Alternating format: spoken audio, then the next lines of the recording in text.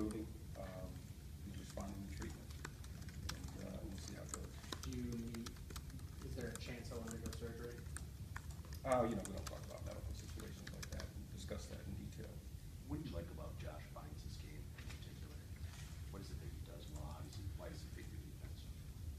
Um, you, you know, he's, obviously, this is not his first rodeo, you know, I mean, he's been around us, he's played for us, he's, uh, played special teams, he's played in our linebacking corps. Guy that uh, understands our system, knows it, um, understands his responsibilities, a very, very fine communicator, uh, with everybody